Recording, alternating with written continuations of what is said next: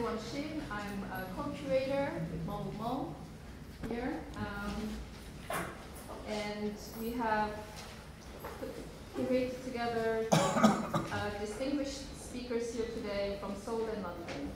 I would like to briefly introduce all of the speakers in order of the speaking um, from session one to session two. Um, I'd like to first introduce Hyungmin who is the director of Seoul Biennale 2007, uh, Alejandro Zaera Polo. This is Lucy Musgrave, director of Publica. Soy director of Seoul Biennale of Architecture Urbanism Division. John Hong, director of International Studio Seoul Lab 2017. He's also uh, curated the exhibition outside, and um, we will have a official opening actually in a month's time, in the 2nd of July. So you're also welcome to that opening. And Robert Mull, I have introduced you to, and Torange Khonsari and Andreas Lang, Director of Public Works. Indy Johar, he will be joining me later. The Director of Architecture 00. so you can see from the leaflet, this, we have curated so that we have a session one that would be mainly subject of Seoul, but Lucy Musgrave from London, one person each from each uh, of the other cities. And in session two, we'll be speaking of concepts of London, but I'll be also um, as an advocate, someone speaking from, from Seoul. And we'll have, after session one, a tea break with sweets and tea drinks. And in session two, after the uh, session two, we'll have a reception, also with drinks and Korean nibbles. So please come and join at the reception.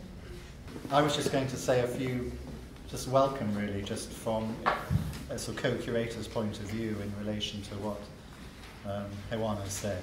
Um, I think today will be fascinating. I think it's a particular moment in which two cultures come together, um, pressing issues here in London and very interesting issues in Seoul.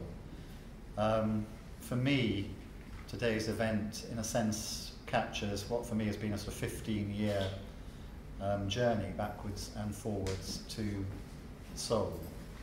And during that period of time, I suppose the first time I went was in 1999, at a moment of enormous financial crisis. There seems to be regular financial crisis in Seoul, but that was the first one that I encountered. And there was a very, very interesting conversation then about the nature of practice, pra practice in an economy that was failing at that point, and what the responsibility and um, techniques that were possible to, um, to curate and marshal that period. I then was involved over a long period of time with Korean National University of the Arts, talking about the way in which architecture education in Seoul could begin to um, articulate perhaps a slightly different attitude towards um, the city, dare I say, towards the commons. Um, and then most recently have really enjoyed what is the subject of the, the show outside, which is the whole situation in relation to the role of the mayor, the very strong, very interesting role of the Seoul mayor, and the city architect, Professor Sun. And that, of course, has enormous parallels at the moment in the situation of change here in London, a new mayor, very, very big issues, perhaps issues which are different from those of economic crisis, but issues in relation to housing, the economy of the city, the power of London in relation to the periphery, and so on. So certainly during that period that I've been involved in both places, one's seen enormous parallels, ways in which one can be used as a case study to examine the other, a conversation about one can be a stick with which to beat out a proper conversation about its partner. So I hope that in a sense some of that will happen today during the presentations, and I also hope that there will be a whole series of alliances and friendships brokered today, which will have an afterlife in the Biennale in a year's time, and, and hopefully beyond that. So I'm chairing or sofering the first session, um, and invite Professor Pai to, to start, if I may. Uh, thank you. I'm uh, uh, Hyungmin Pai, uh, Pai Hyungmin. I am uh, co-directing uh, the inaugural uh, Seoul Biennale of Architecture and Urbanism um, for 2017, together with Alejandro Zaera Polo. And my role today uh, is to give an introduction to the Seoul Biennale. And, um, and in a way, uh, that would be the background of why we are here today. And I, I see that many of you were in Venice last week, and so a lot of us are suffering from uh, Biennale fatigue. And so I think many of you might think, oh, another, just another Biennale in Seoul. Um, but uh, like many people, I pre- probably heard many directors of Biennale saying that we will be a different Biennale. And so uh, I will give that argument, um, and hopefully it will be convincing.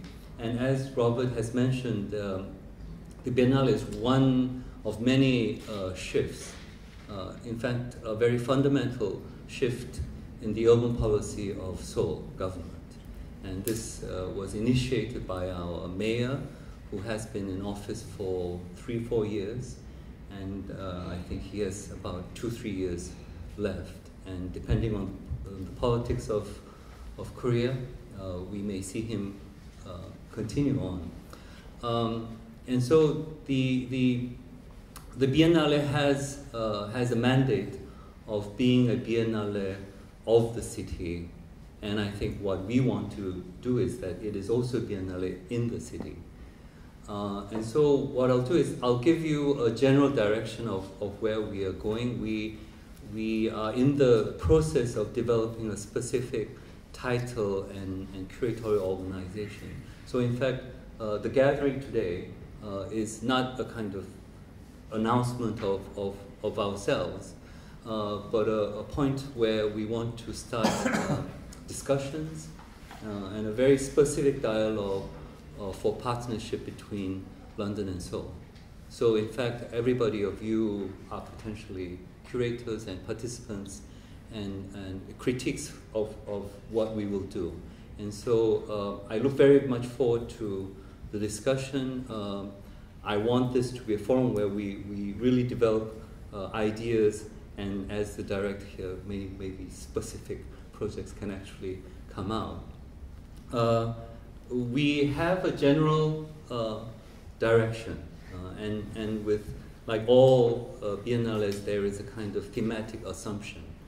And here I just uh, will show you a bit uh, of, of a few paragraphs from our initial statement that is in our brochure, sort of a general idea of where we are going. And in the next few months, we will sharpen it and, and with the specific projects that we will pursue, I think they will have, we will have a very uh, strong uh, sense of, of the kinds of things that we want to do.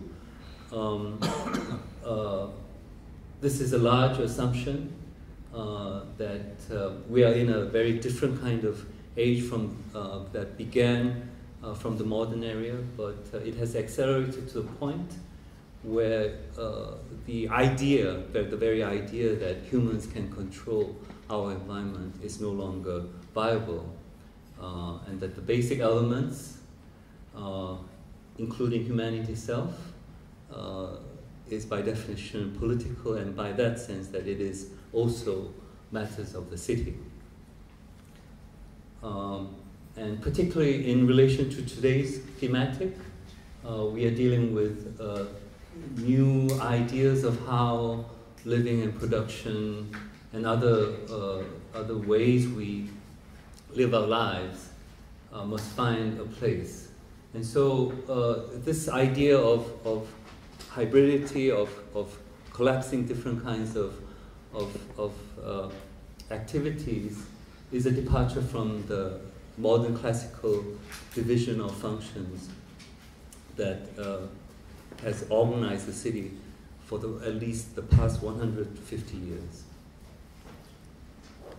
And so uh, we believe that uh, uh, the formulation, formation of a new commons uh, uh, that and again, that are, that are primarily uh, a political phenomenon will be uh, central to our, our uh, thematic. There were moments when we were thinking that we might set the theme as work or production, but we thought that those terms uh, still had lingerings of modernist ideas, and that uh, people might have a previous idea of what, what, we, when we say work. And so we, were think, we are thinking of using the terms of making, sensing, moving as, as a new formation of commons. And uh, I think this is uh, central to, to the Seoul Biennale, that the, the themes that, and the assumptions that I just outlined briefly, I think these are not new. I mean, we've been, uh, we've been developing this, we've been talking about these uh, commons, but I think Seoul Biennale will be, will be a, can be a different kind of Biennale because uh, uh, we want these commons and these issues placed within the city. We want to sort of test them out in the real urban setting. Uh, and, and again, very importantly, in relation to our session today, is that, that uh, we were in Venice, I think, uh, last week. And so Venice is a primary example of a curatorial uh, uh, year, two year by two year uh, phenomena. And so Aravena comes in uh, this year, he does his thematic and then leaves, and then somebody else comes in two years later, and there's another theme, and then comes in. And so it, the, the exhibition could be anywhere. Oh, you know, it could, it needn't be in Venice. Uh, and then the previous, uh, this Biennale, the thematic would not have a continuity to next year. And that's what we maybe expect of biennales. But this biennale being uh, supported by the Seoul City government, having issues of urban governance that, that, don't, that don't change suddenly after every second year. And so we want to uh, set up a network of, of uh, partnerships in governance. And so we, we want, through the Biennale, to be able to identify individuals and institutions that will form a kind of global network.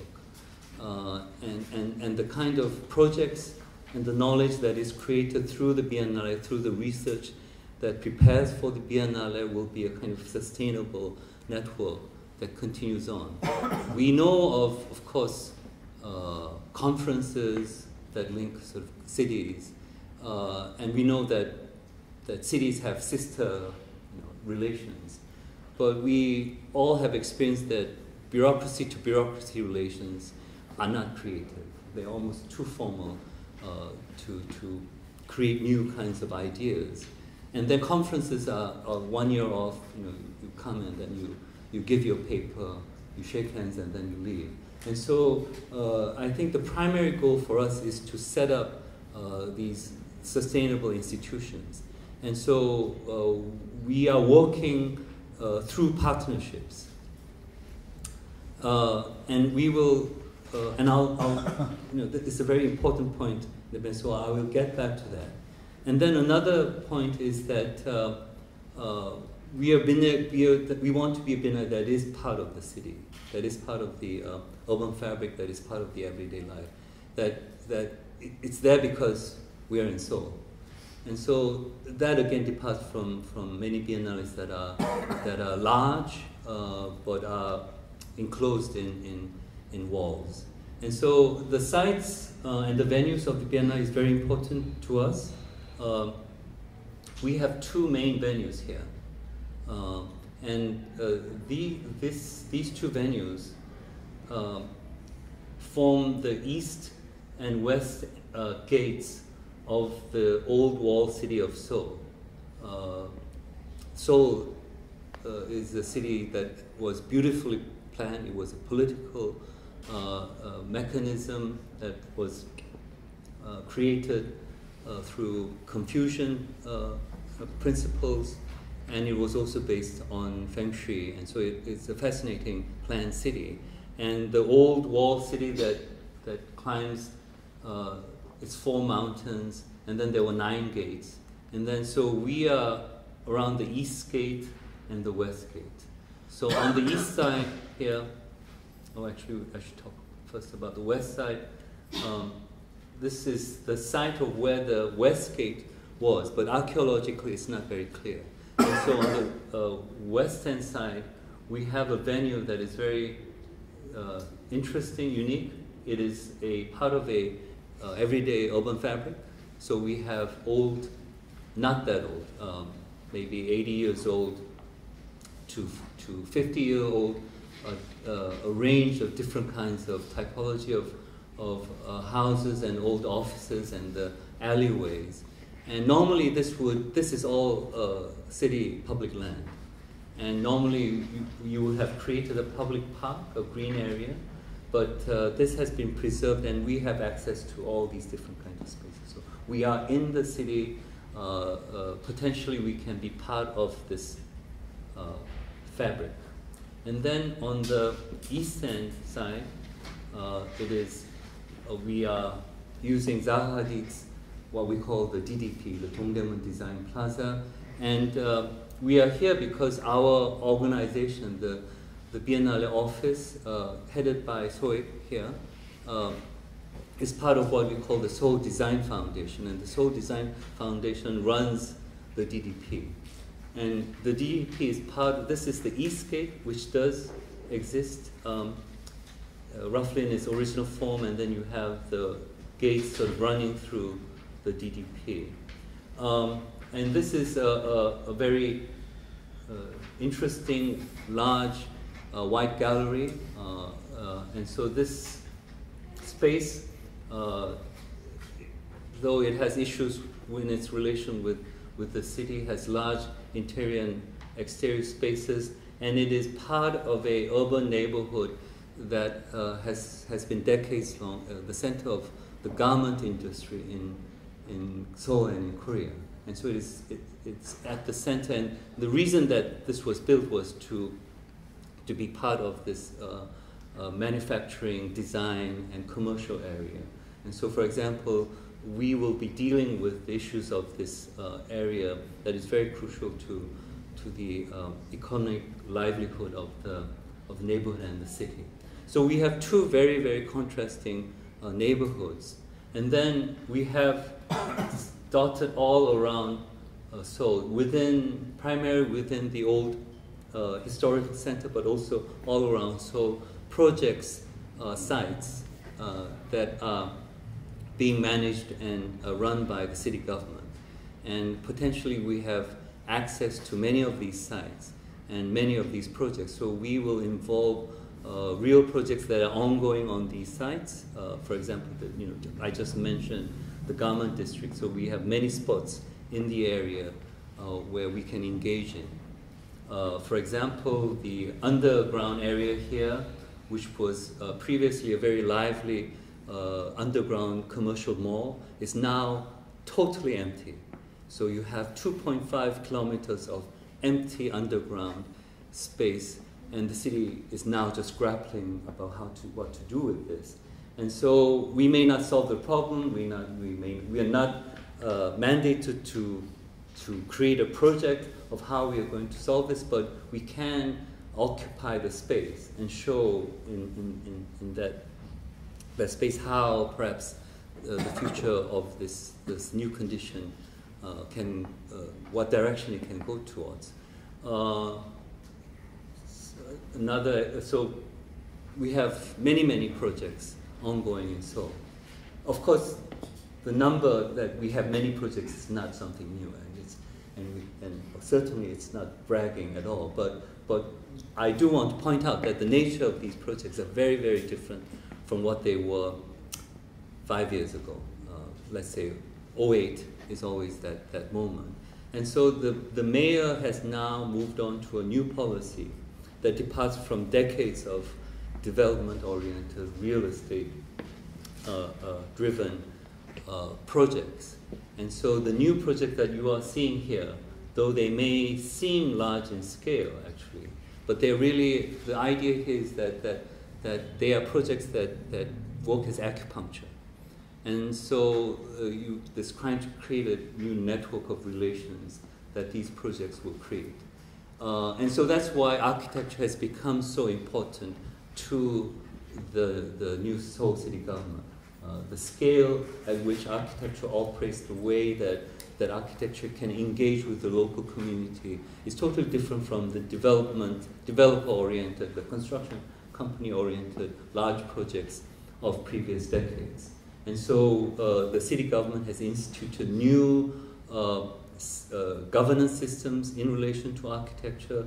Uh, Robert mentioned the, the, the first uh, city architect of Seoul, Mr. Sung, and he will be talking, in fact, next week at the Barbican in relation to this new institution.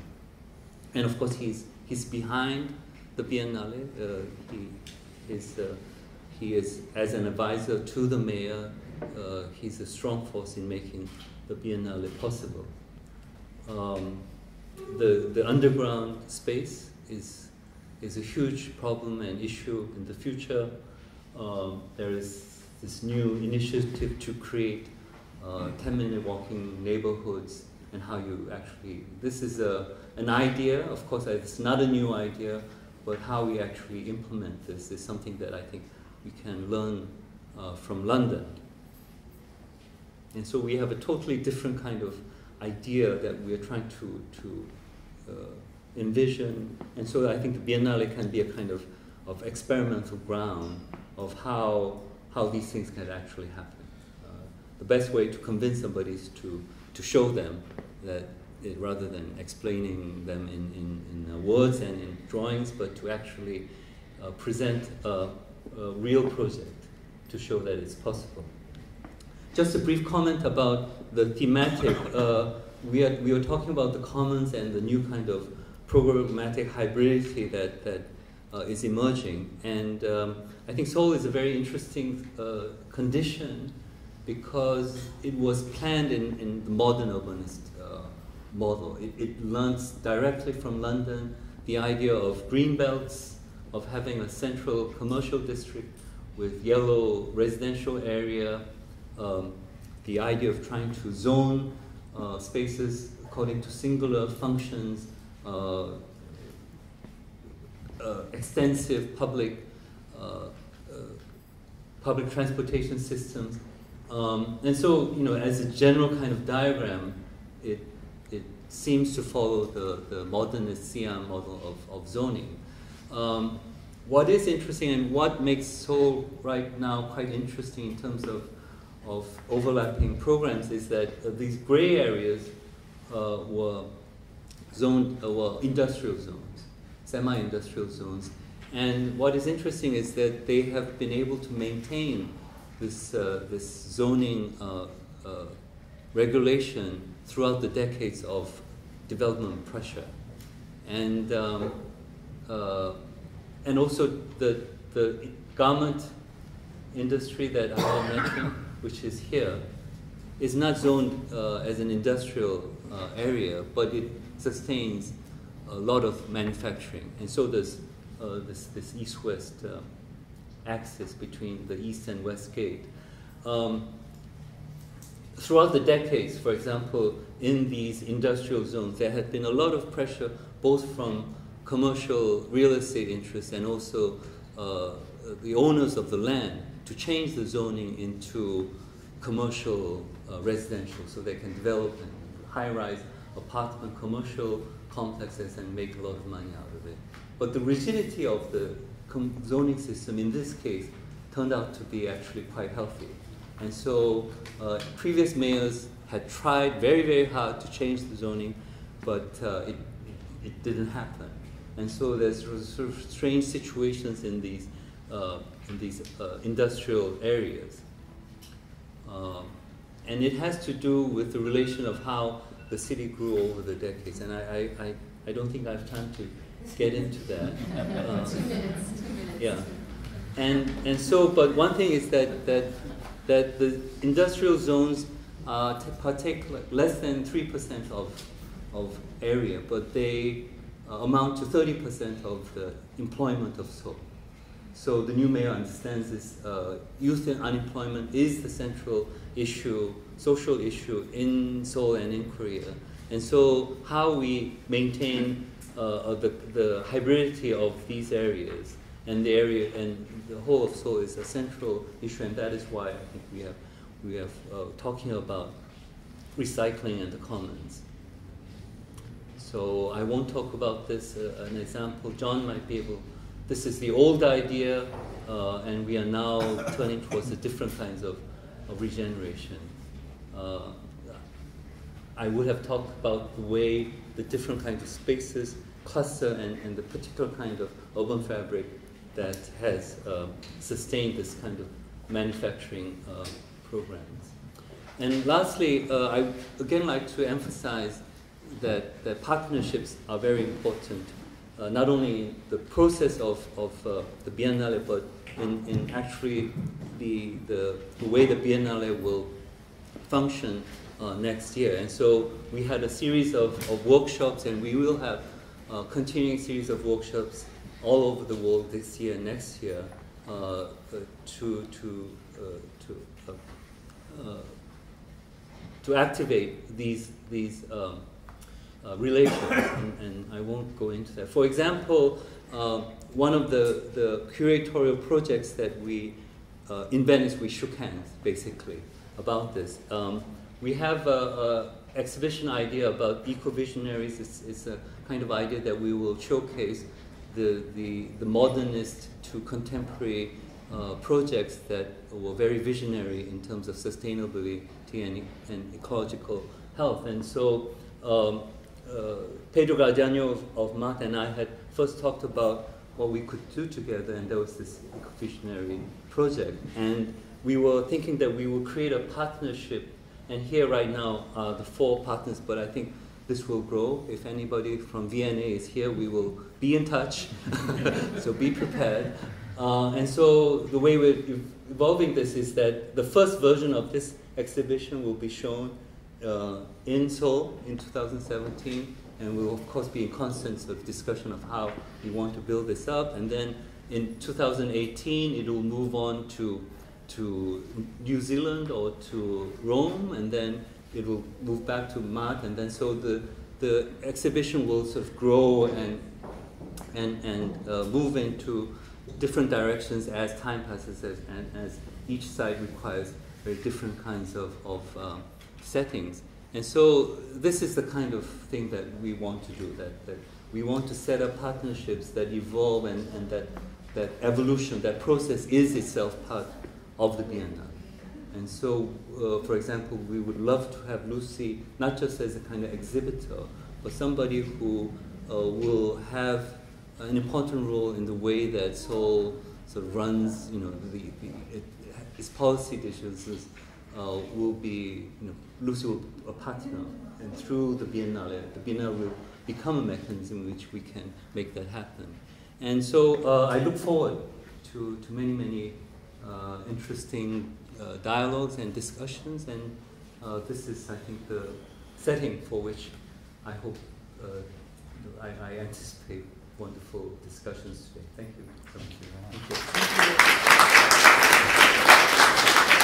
So Haewon suggested that um, I explain a little bit about the London condition in this session and a little bit about our approach to the complexity and diversity of uh, urban change that's happening here. Um, our philosophy is definitely through, through practice comes change. So actually I wanted to use this opportunity to take you on a journey through central London, through some of the um, projects and some of the issues that we're dealing with. Um, and I'm going to do that as quickly as possible because I'm now absolutely terrified that the alarm that I wake up to, hang on, is going to go off too quickly. That's true. That is true. Uh, so, let me just, excuse me.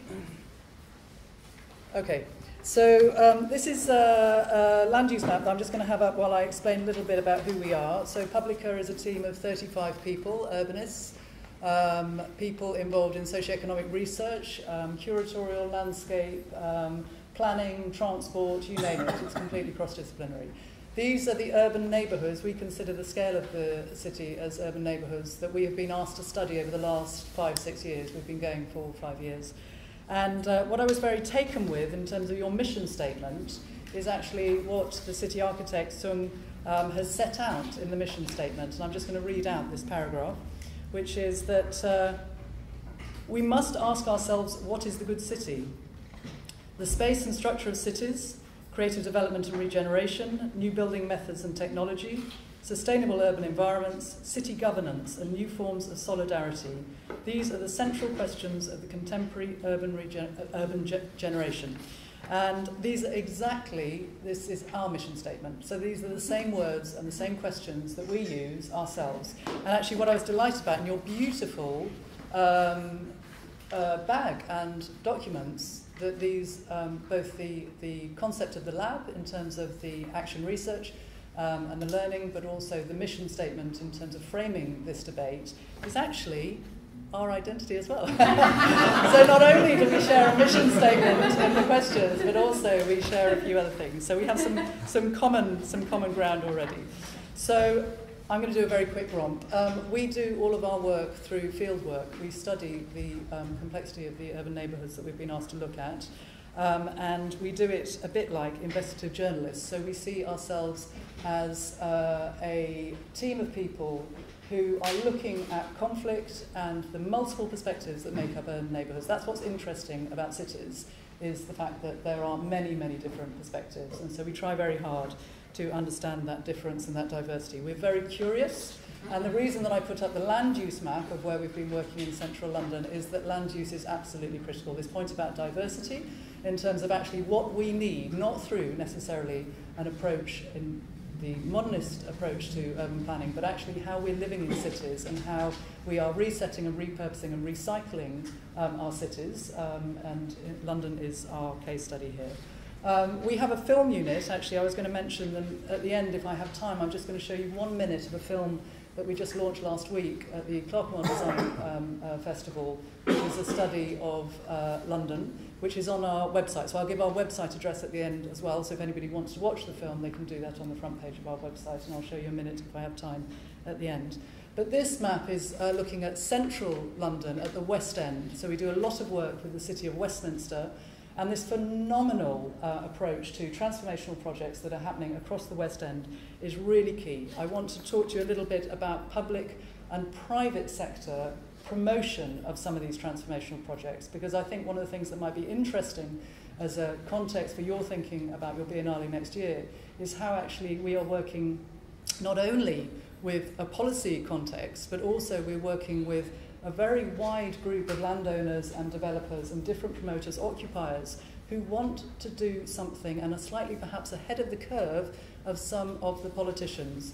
That's not always the case. We've got very, very good political leadership in Westminster, um, but it is something that is being promoted from this private sector, urging the public sector to think again about our districts and our neighbourhoods. And it's a very interesting moment. It also comes about because of 2008 and the financial crisis. And I won't go into that in any great detail. But what it has in common between the public and the private sector is this idea about civic identity and civic amenity. So there is a common thread in terms of these projects, which are really critical. So hopefully the journey that I'm going to take you across the West End and then into the City of London, our commercial district, will explain a little bit about how we work and the evidence base that we need to help and support decision makers to make these transformational projects. The first place I'm going to take you to is the North Bank. This is a place literally where we are sitting today. This is from Trafalgar Square to the Aldwych and it's a business improvement district. We have recently taken the North American model of business improvement districts, and we have many now in London. And these business improvement districts are um, really effective and very ambitious now in terms of setting strategic visions for whole districts. So not only about the management and maintenance of areas, but also um, actually thinking about really radical and ambitious change. In this place, um, I don't know if I've got a pointer here, but uh, we are on the riverfront. And London, like many uh, global cities, has actually been pretty poor in terms of how it's dealt with its relationship with its great river. Um, but we have a new governance structure in the West End, which is called the West End Partnership, which is a public and private sector coming together, and they have now defined the geographical boundaries of the West End as going all the way down to the Strand and uh, to the river. The river is important because we have a huge civil engineering project coming that's going to be delivered by 2023, which is called the Thames Tideway Tunnel. And it means for the first time, literally in a thousand years, we're going to have a clean river. And this is a really radical project. So one thing I just wanted to point out in this tiny, tiny uh, little detail of this land use map is the diversity of land use in the district that we're sitting in. It is very unusual in the West End to have what we have here, all of those colours that you can hardly see. Basically, we have university campuses, we have phenomenal national, international cultural institutions, we have high commissions, we have an important business district, we have residents living here, we have listed gardens, we have many, many different uses. Normally in the West End, it's mainly uh, driven about retail on the ground plane and you know some cultural and, uh, and evening and nighttime economy. It was a set piece of urban planning in the Edwardian area when we thought of ourselves as a great empire, with literally with Broadcasting House broadcasting to our empire. But actually, how it's functioning when you look below is that this is completely dominated by traffic in terms of air quality, in terms of students not being able to access universities, people not being able to access the pavements and so forth. So the Business Improvement District within their um, business plan set out very early that they want to remove the gyratory, the one-way traffic system around the Old Aldwych. And so our job has been to set the whole vision for the whole district and then also to work on how we are going to remove this gyratory. Another, just a little bit of context in terms of policy making at the moment. The last Deputy Mayor, Isabel Dedring, for Transport, put together a roads task force. And this is really radical for London because the roads task force said two things. One is that this great transport authority for this great city isn't just going to be about the movement of goods and people. It is now also going to be about the specificity of place. Those, so those two things, the spaces in between buildings need to be reset and that all people, whether you're on foot, whether you're on a bicycle, whether you're servicing a building, you're arriving on a, on a public transport, on a bus, in a taxi, whatever, all the space needs to be rethought and it needs to be rethought place by place. And that, in the first instance, is about removing these large um, road engineering projects of the gyratory projects. So from our vision for this district, we came up with 40 interventions in the public realm, and one of them, this is just one of the 40, is the removal of the gyratory project to link the universities, Somerset House, link to Covent Garden and so forth. I'm going to move on my journey slightly north of the Aldwych to Covent Garden. Covent Garden is a place of 43 million visitors a year. On the tourist map of London, you have to come and visit Covent Garden, but actually there are moments of great conflict and also the metabolism of the day means that at certain times there are real challenges. For the people who own Covent Garden, we've been looking at the experiential mapping of why some Londoners avoid Covent Garden because of the pace and some of the issues around Covent Garden. And we've also been looking, because we always look at the thresholds in terms of what the theatres and the opera house and the restaurants and the retail mean in terms of those coming and goings out of buildings. We look at the grain because actually in the new master plans of the new development, the project that is really critical in London is integration. So the integration of new development with the existing character and identity. And also strategic walking routes, because we have a massive investment in public transport and we have a new railway line, Crossrail 1, moving east-west across the city that's going to open in 2018. So linking from this Covent Garden neighbourhood through the neighbourhood of Seven Dials, through the neighbourhood and all the changes that are happening at Tottenham Court Road.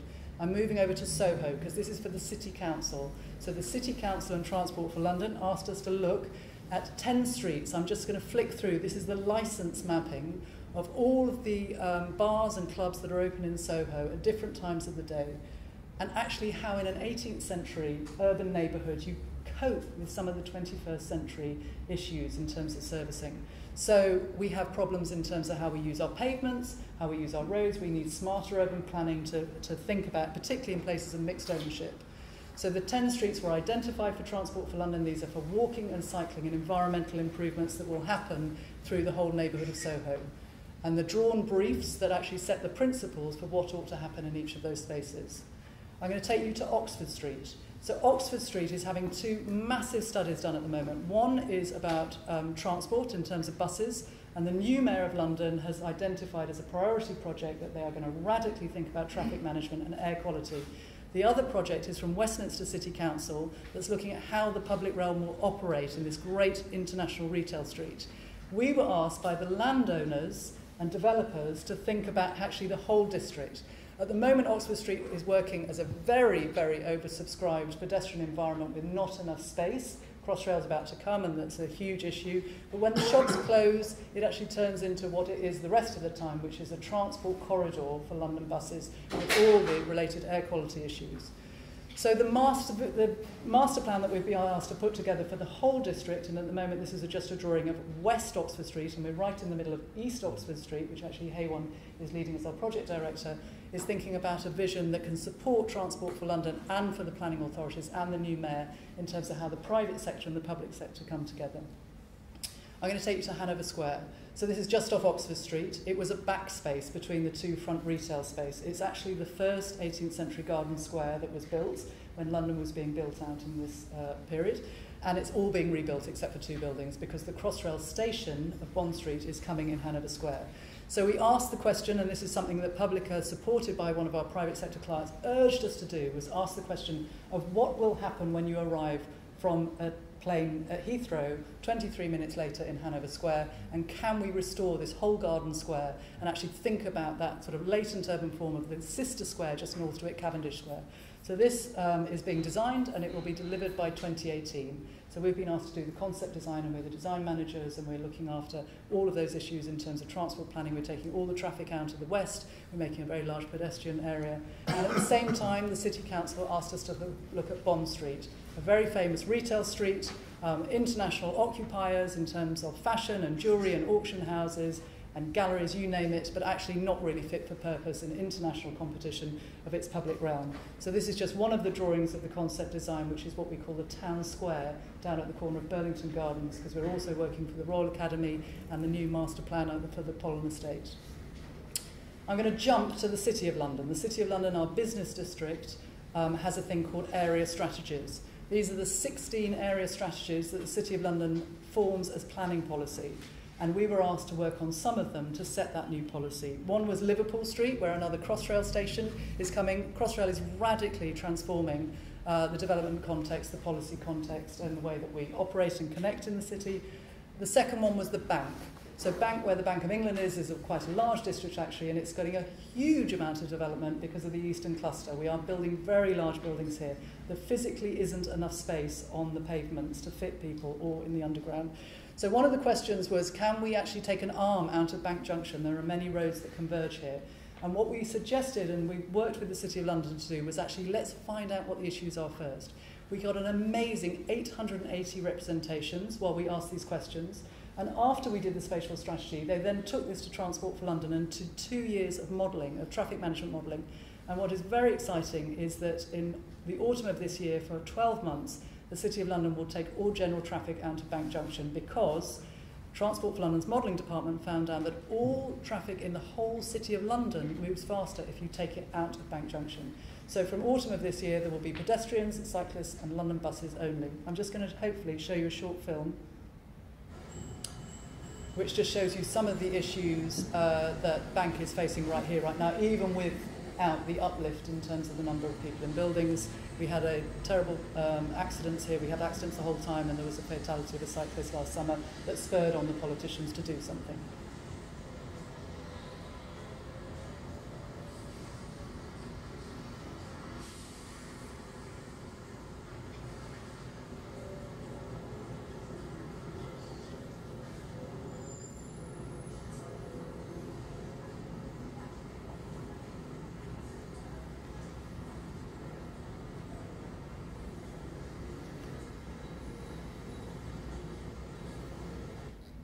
The third area strategy um, is the Barbican and Golden Lane estates. Um, the City of London, unusually in the 1950s and 60s, decided to radically change their policy and actually build demonstration housing on behalf of the whole country around high density urban living. There was a political reason for doing this, but there was also an opportunity because the area just north of the city was the largest bomb site in Europe, Europe at that time. And the uh, city asked us to do two things. One was to set the spatial strategy for these two housing estates, and all of the cultural institutions that uh, operate here, because there are huge and very important international institutions here, but also to set the cultural vision for the City of London through something called the Cultural Hub. So just unlike the city of Westminster with all those layers and layers and layers of land use and diversity, here we have principal land use in terms of the commercial district, the cultural district, and the residential district. The process we went through, a bit like the bank, was to actually find out what the issues were first, and the process led to 4,435 representations being made before we could then find out what the key findings were at, at, at the Barbican and before this was eventually adopted as planning policy in December 2015. This is the area, it's right on the north bit of the City of London. It, this is the land use map from 1936. So before this whole place was razed to the ground through the bombs, there were normal streets, there were many different uses in terms of warehouses, specialist retail, churches, people living here, you name it. It was people coming and going out of those doorways that we looked at in Covent Garden. And then the figure ground in terms of what happened next. So actually what happened, this radical idea about um, uh, thinking about um, modernist, brutalist urban planning through the 1950s Golden Lane and then the Barbican estate, actually we suddenly had a world whereby the scale of that intervention was almost the size of a railway station or the general markets at Smithfield Market. And what it meant was that the, um, you know, very um, bold thinking at the time was that pedestrians would use the podium level, the high level walkways, and they wouldn't use the street. So we have very impermeable edges of the Barbican that we're living with today, but we also have streets that are just not fit for purpose for people who are walking and cycling. We have uh, motorway conditions where actually because London has introduced a 20 mile per hour speed limit, it's very difficult to drive at 20 miles an hour and actually aren't being used for the human activity that they should. We have car parks on the ground floor where actually there should be key entrances to cultural buildings. And we have a confusing, a hugely confusing wayfinding issue. This is a family of Spanish tourists arguing, shouting at each other, where is the Museum of London? And everyone's pointing in different directions. The reason they're arguing is that you, even when you're looking at the Museum of London, you can't see the Museum of London. And actually, there are no streets here, so there are no north-south connections across the Barbican. If you remember back to that 1936 map, there used to be streets here. So what they did is they laid a yellow line down on the podium to get people to the cultural institutions. This poor young woman is looking at her smartphone. but the problem is that there are no streets, so the smartphone's not going to tell her where she is, and suddenly the yellow line stops. And actually there are other yellow lines on this brick, which are the servicing lines outside the local church. So it's a very confusing place for a Londoner, let alone a visitor, particularly an audience member for the cultural institutions. And the grand entrances, these thresholds of our cultural institutions, were closed decades ago. So actually, even if she found her way to the Barbican Centre, she couldn't get into the main door. But on the outside, you might have this incredibly hard edge, this Barbican, literally this huge wall. Inside, you have this phenomenal condition, which everybody values, which it really is a true oasis. It has phenomenal biodiversity, and for the City of London, this is absolutely key. It's also the high walks are used by people, particularly school children visiting, you know, they go to school every day at the City of London School for Girls.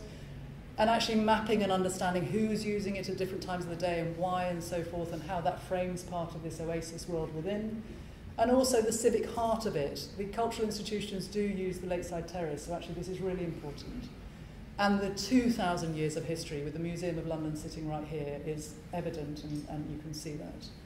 The adjacencies are very comfortable, it's so well designed. This city worker can sit at his lunch break and read his book while his school children are playing. And there is, of course, this custodianship and this great pride in terms of actually the residents who have lived here for many, many um, decades and now generations. the social infrastructure was put in and it has been very proudly um, maintained by the city. And Crossrail is coming, so it's bookending this estate basically. Another Crossrail station coming at Farringdon and at Moorgate. And the opportunity, it's very usual that the City of London has this map, development map.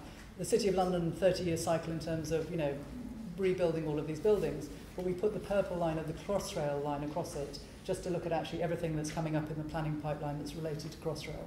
So the City of London set five key objectives um, about what they wanted to get out of the spatial strategy and the cultural vision. Okay, I'm ending. And we did an overarching um, vision drawing, and then very briefly, we're taking the traffic out of Beech Street, we're taking a building off the podium. It means that you will open up those entranceways to the cultural centres, you will have a clear threshold um, that pedestrians can access at the Beech Street tunnel. The building's gone on the podium. The sculpture court was always called the sculpture court, it's just never had any sculpture in it, so it's going to be activated again for cultural activity. Golden Lane Estate has a fantastic street called Golden Lane, which is very lightly trafficked, so we're going to turn it into a linear park. Um, the Crossrail station has very complicated levels and it's not very active, so at every stage we're going to put the retail in, we're going to open up those car parks for the cultural activity for the key institutions. London Wall, the motorway, has many pocket parks, and actually it's just a matter of narrowing the carriageway, making it an east-west route, but actually greening the city. The Museum of London Governors, while we were doing this, decided to move to Smithfield Market. The site of the Museum of London will now be an, an international centre for music. Um, and the vision for the cultural hub, very briefly, the process was that we mapped all the small, medium, and large um, cultural institutions. We got them all together. Um, the festivals and events, the seasonal activity is really critical. The weekend activity, the yellow splodges are where tourists and Londoners are finding leisure and cultural activity at the weekend. And there's an island, which is the Barbican. So our objective is to make the yellow all link up. So actually that it's not an island anymore. And all of that resulted through a series of workshops and a set of values, a set of pr pr principles, and a vision for where culture sits for the City of London. And it was um, uh, adopted, as I say, as policy in uh, December 2015. And my final point, just to say, is that I just wanted to re-emphasize this point of what we have in common. So the civic identity of the city, regardless of the public or the private promotion of it, has become our project in London.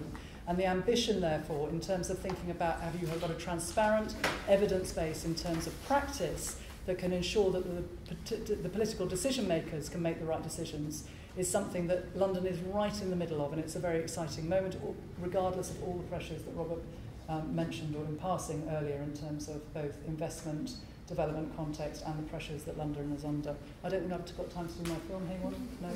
No, if you look at the website, the website will show you a film about London and how we look and investigate these neighbourhoods in more detail.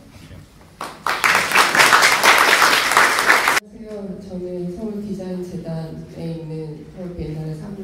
Hello everybody, um, my name is Zoe. I'm the, I'm the director of the Seoul Biennale division. Uh, you might be a little bit confused because we have a lot of directors all around. uh, actually, um, I'm heading um, the office, I mean the operating team in, in the Seoul Design Foundation. Seoul Design Foundation is founded by the Seoul City Hall, Metropolitan Government.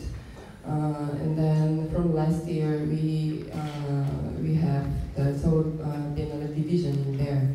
So um, I'm working on the Seoul Biennale from last year, and so um, today I'm talking. I, I will talk about the urban governance aspect of the Seoul Biennale as one representative of bureaucrat, bureaucrat representative, representative of um, the Seoul Biennale.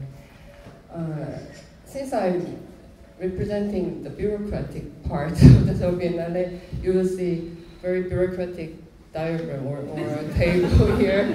Um, well, uh, actually, um, we started to set up the Seoul Biennale making this kind of structure. Uh, the mission is building a platform of urban innovation and urban governance. You will see the reason why we are focusing on the innovation and governance later. Uh, the goals of the Biennale envisioning and proposing and communicating and collaborating uh, strategy uh, and programs. It is quite boring uh, words, but um, today I want to, I'd like to emphasize the urban governance uh, aspect of the Biennale. Uh, Hyungmin explained uh, like a contents-wise, contents aspect of the Biennale and uh, right now, uh, probably you could understand better why uh, we started the Seoul Biennale and what we expect from the Seoul Biennale. So, um, let's say uh, urban governance. The reason why the Seoul City Hall, the metropolitan government, uh, let's say, request to found the Seoul Biennale is because we need really an urban governance uh, platform and format at this time, especially at this time. Uh, as everybody, many of you might know, uh, Seoul has been uh, uh, developed for less than three, four, uh, no, more than five decades in a, a tremendous speed of the development, and then we have a lot. We we um, achieved a lot of like a progress, but at the same time we have a lot of problems also. And then it is for us. Uh, I believe that it is the really right time if we want uh, the, the, um, the change, the shift of the urban paradigm of, of philosophy.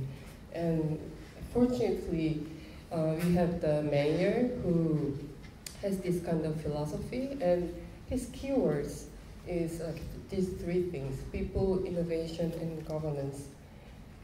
Uh, and he's saying that from uh, like uh, right now the, uh, in this urban policy, the people has to be in this, at the center, saying uh, from sacrificing the people for the city now to changing the city for the people. And then he's emphasizing also the innovation, but innovation doesn't mean the techn- uh, technical technological innovation, but it's uh, basically the social innovation. So urban paradigm shift, new challenges require new thinking. He's saying also hope, uh, hope will return to us when this society and our life are innovated together. So we, he, he through like a series of policies and, and, and projects, he's trying to, let's say, uh, like settle down all this different thinking uh, about the city. Like uh, very quickly, so he's trying to regenerate the uh, urban neighborhood, and he is trying to activate the project to revive the historicity of the city, and he's also trying to refresh the existing philosophy about the energy and about the, the daily life. And also, and then the third keyword is governance, um, like, uh, governance. And so he is trying to do, uh, trying to work on site. So uh, in Korean is here. Oh, I'm sorry. Like uh, his office on site he's just uh, traveling around in the cities to meet people, for example. And then he's trying to do also um, like a, the meeting to outreach residents in the small areas, as you saw before, like a 10 minutes walking neighborhood concept. And then he wants to make every information transparent about the city. And he's really famous for uh, very quick SMS like users. So he has currently like more than uh, 700,000 followers. And even uh, he set up also the two different um, offices in the city hall, Seoul Innovation Bureau and Public Communication Bureau. In the Seoul Innovation Bureau, there are social innovation office, private public collaboration office, etc., etc. And in the Public Communication Bureau, he set up also citizen communication office, city branding office, etc., etc. So in many ways, the city of Seoul is trying to uh, really like activate and, and, and come close to closer to the citizens in many ways and to make the better communication with the citizens. Um, so, for example, uh, to do the um, the big project of the Seoul, he's um, he's doing also uh, some events to show and to let people, uh, citizens, experience directly uh, the project. And he's also doing the uh, public hearing, reporting on closing account every year. But despite of all, uh, we have still a lot of limits. Um, for example, uh, Seoul is such a big city with the only the Seoul, Seoul city is more than 600 uh, square square kilometers. Uh, square kilometers, yes. It is rap- grows so rapidly and only Seoul, uh, the population of Seoul is about uh, 10 million. Uh, we had the news like a, a, couple of days ago that the population of Seoul uh, finally uh, went down uh, 10 million because of the housing problems, all these issues. Um, only the Seoul city has 600, more than 600 square meter, square kilometer, and, and 10 million of people. But including the, uh, the region, we are usually calling uh, Seoul region, Seoul Gyeonggi-do. Uh, there are 23 million people,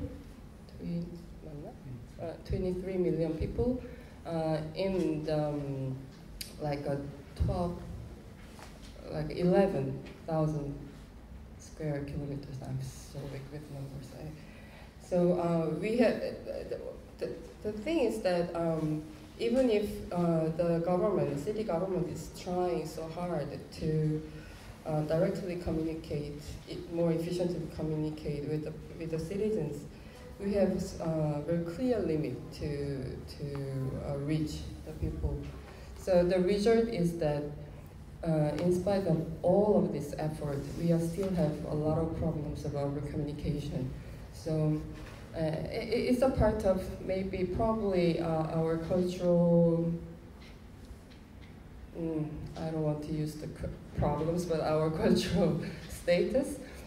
And say we are very uh, familiar with top-down process and, and we don't we are not that familiar with that uh, ongoing discussion and making sort of like a dialectic um, conclusion.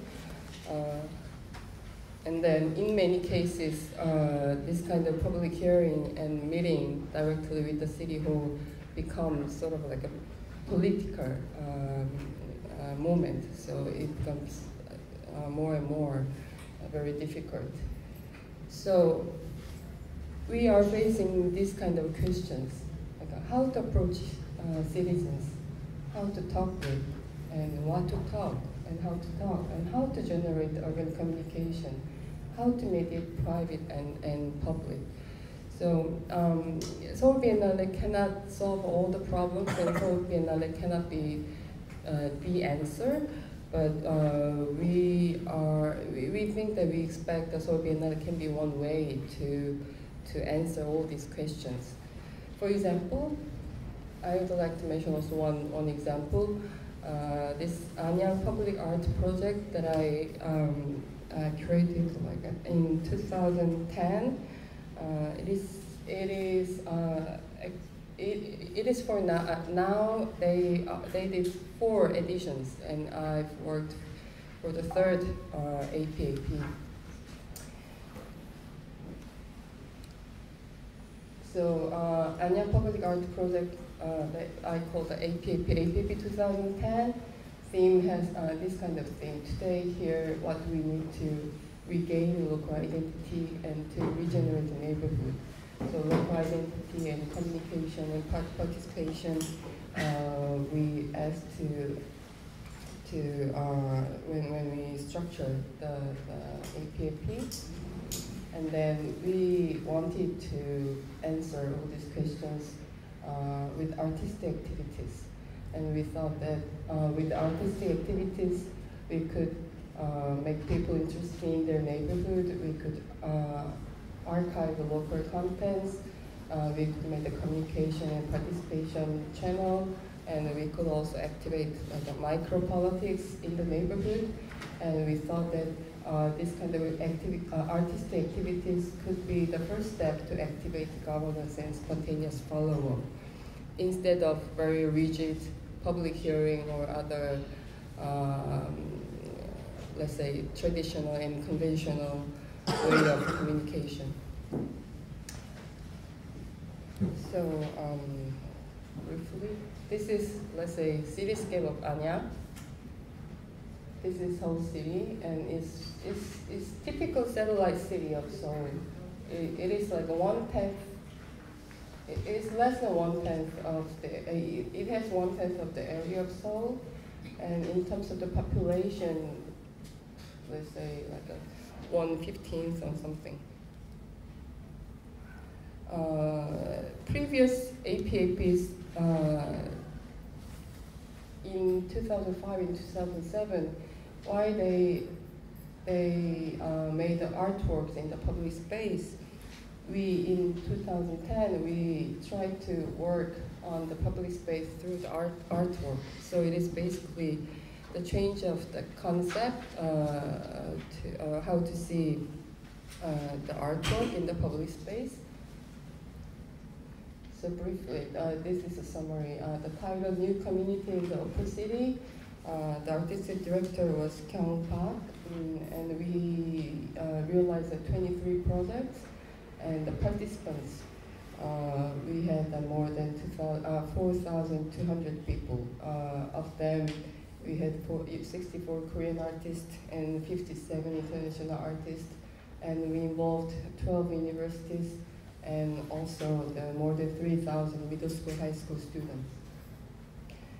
Um, maybe this is the, the, the core of the, the APAP 2010. So the structure, the main structure of the APAP 2010 has these four, uh, let's say, categories. One thing is strategic foothold, foothold and support, and uh, the rediscovery of the city, community activity, and art as a generator of urban process. So the strategic foothold and support is uh, th there are a series of like infrastructure uh, projects of APAP 2010, and we uh, also developed a series of like a redis- uh, series of projects to rediscover of the city, rediscover the neighborhood, rediscover the storytelling, stories of the, uh, of the city because that, is, that should be the first step to understand the city and to have the, um, can I say, the interest in the city. And then, of course, we have uh, uh, several community activities. And finally, uh, we try to do implement some, some public art project to generate urban process.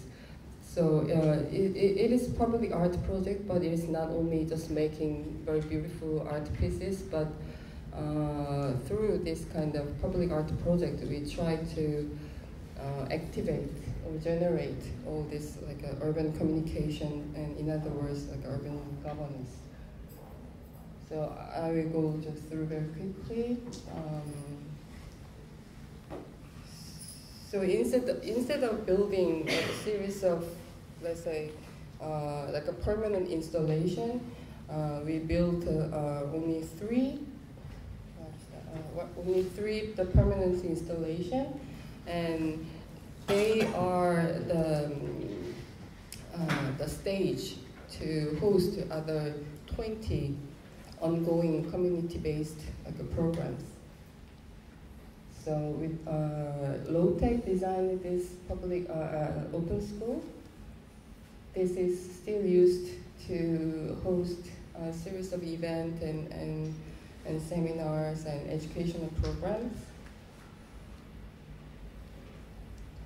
And uh, we built also open house. Uh, it is, it is built uh, by the Raumlabor, but with the help, with the big help, big support of the citizens. So basically, the artist, the Raumlabor built uh, 19 the small houses with the citizens, and there was one day like a party to use the crane to locate those houses. And unfortunately, uh, they just um, demolished this building because of the problem of the maintenance. But uh, for more than three years, that was really like a loved, beloved place, especially for kids. And we had we have also the open pavilion by Mask Studies.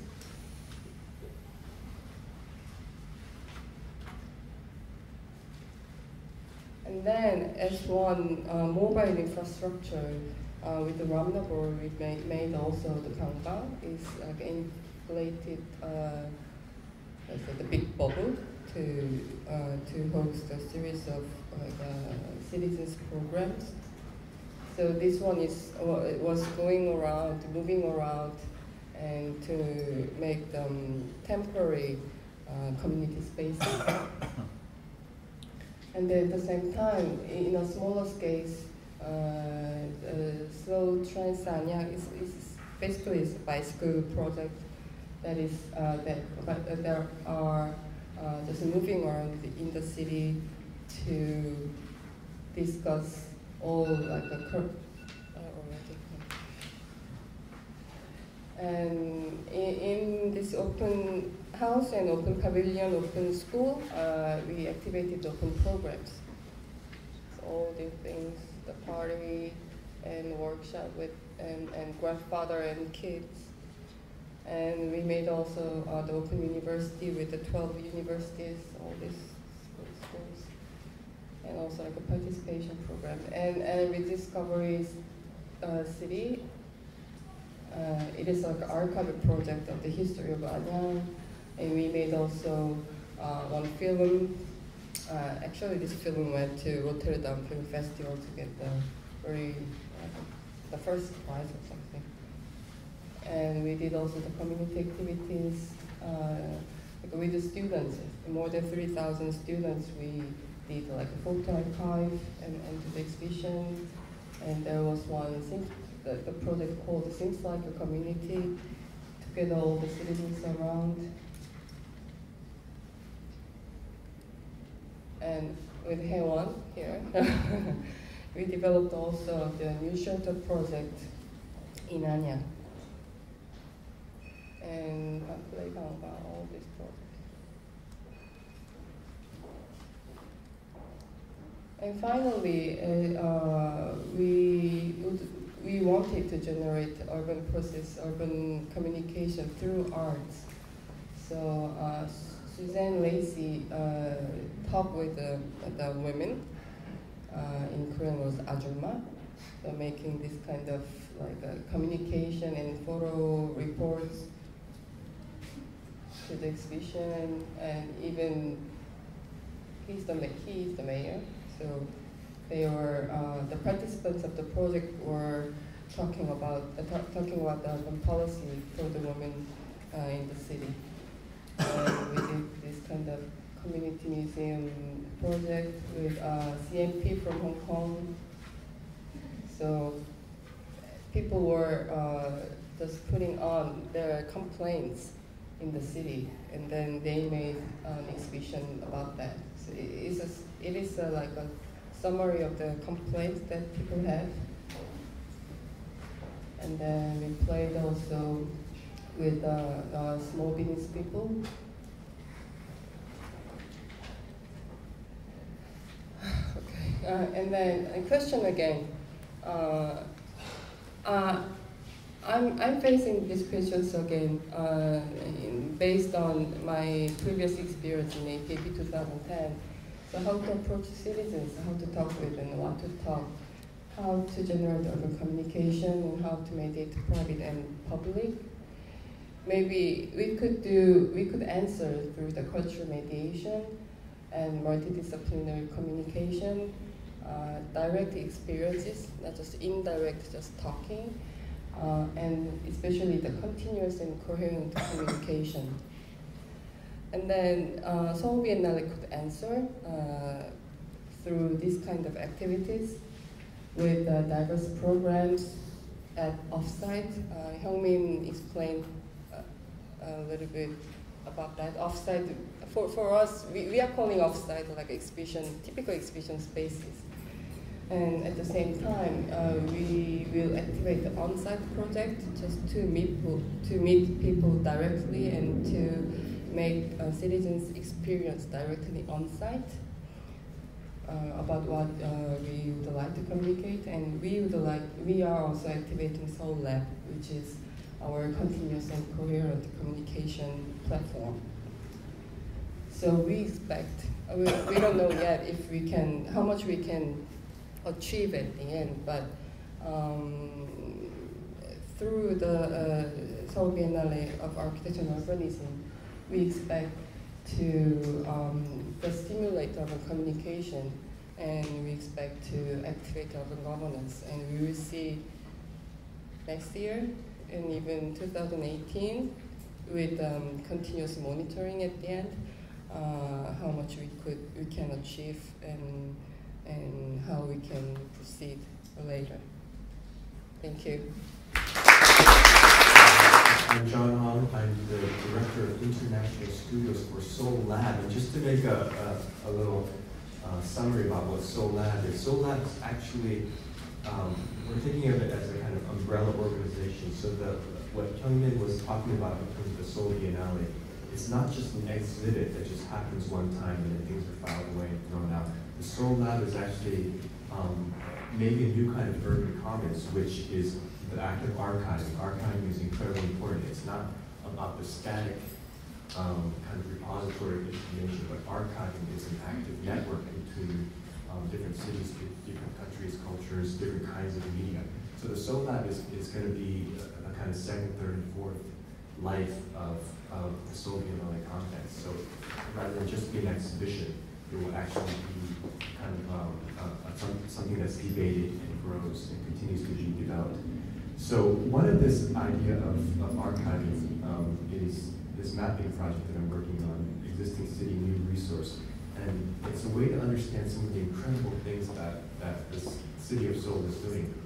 Um, I mean, it, it, from large scale things like uh, this kind of infrastructural scale, um, kind of east-west connector that used to be a highway is being turned into a linear park, all the way down to the kind of micro scale, which is uh, kind of neighborhood facility, uh, that kind of urban acupuncture that Helen had mentioned. So it's, it's an array of projects that actually works as, as maybe a comprehensive network that works at a variety of scales. Um, this is London. You can't talk about Seoul without looking at London and thinking about London. In fact, when I show this slide, um, colleagues take a, always do a double take. They say, oh, is that Seoul? At least the satellite cities of Seoul. It looks very much like Seoul. Um, so one of the little personal background histories, my father was the first urban planner of Seoul. And just like London was destroyed by the Great Fire, Seoul was destroyed by the war. And so he said, let's just use London as a blueprint, make a new city. And literally, it started like this. And, so, there, so it really, there, there's some incredible similarities, in, in, including the dense core, including the transit, but also the idea of the satellite city um, and the green belt. But what, um, and here that is, here's, here's um, Seoul and here's London. Look at the similarities. It, it really is a kind of blueprint.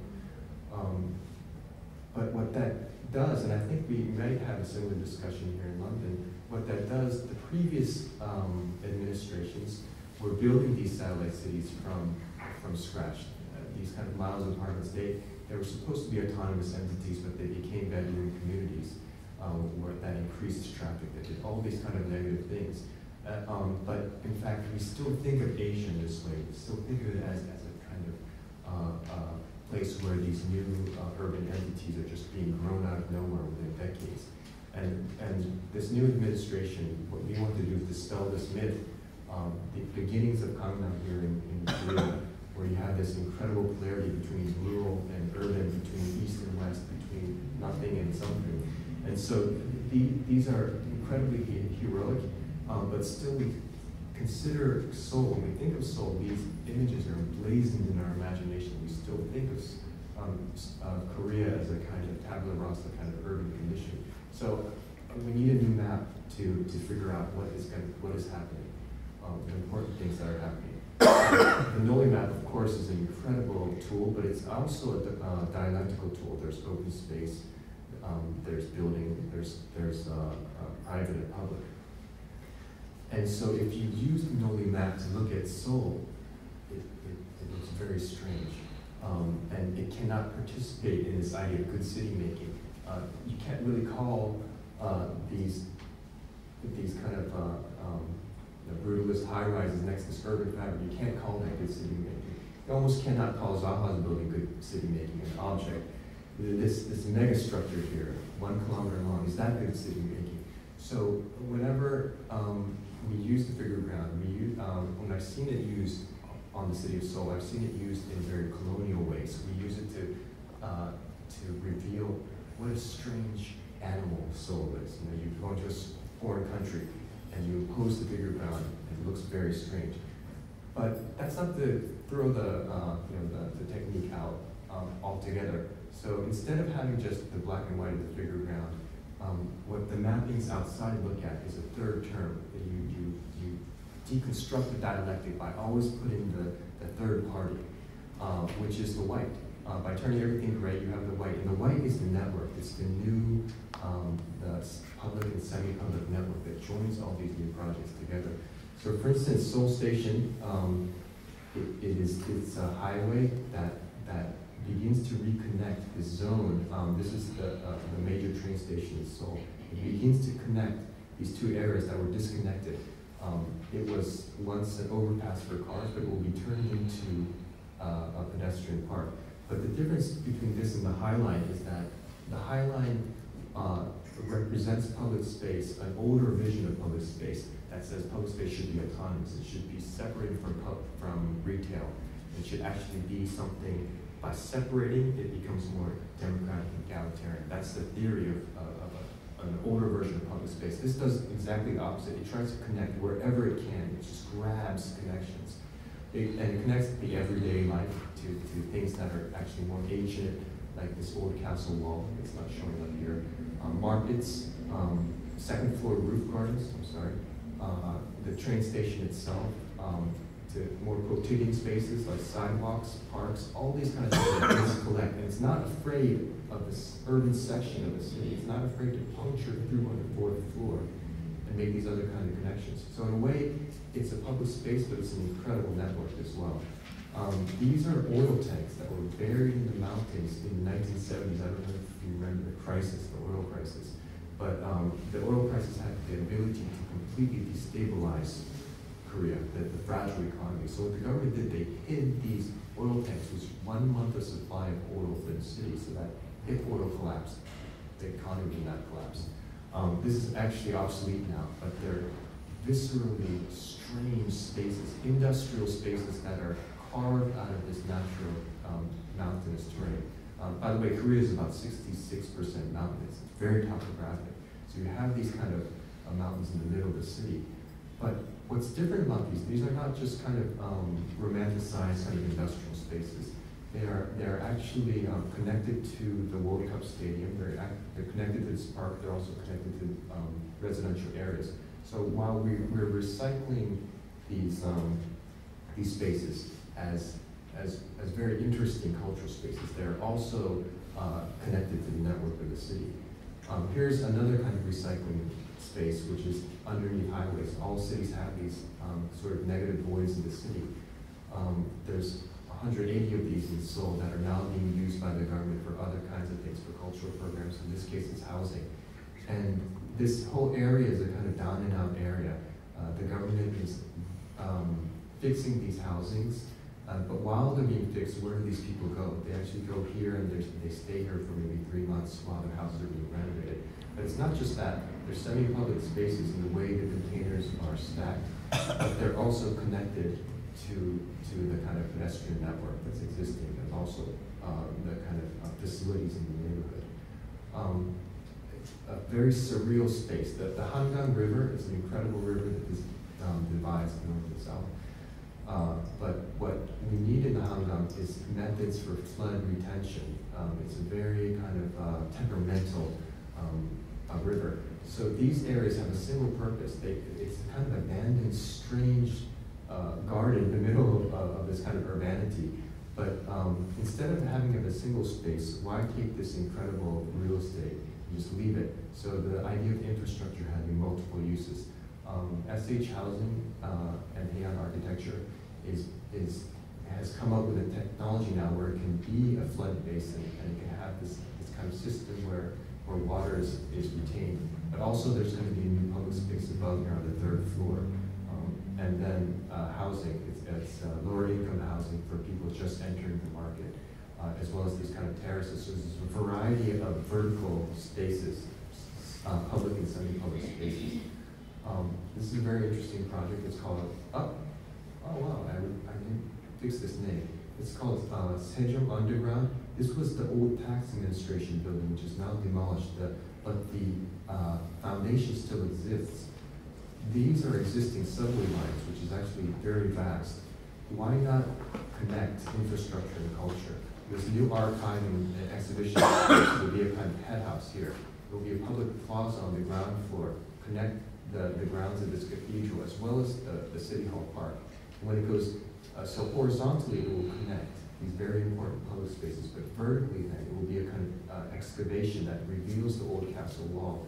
But at the same time, it connects three and a half kilometers of underground space, retails, basements, and buildings.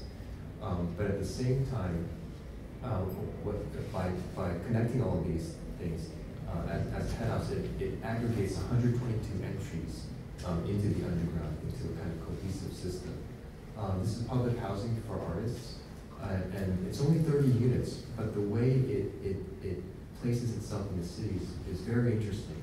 Um, the, the exterior spaces are uh, ambiguous in which they're streets, but they're also dimensioned to be kind of public rooms at the same time, these things. And these touch the ground and they begin to regenerate this under, underutilized park. It's placed in such a way that, that, the, that the, the park has a relationship back to housing. But what's also interesting is that it's, it's artist housing, so the, these spaces are, are, are community spaces as well. People in the community can come and have their events and vice versa. There's film screenings, there's parties, there's music. And, and then artist studios, um, other facilities are, are within the community. Um, this, these are visiting community centers. They're basically neighborhood community centers that are placed like acupuncture at, at certain distances.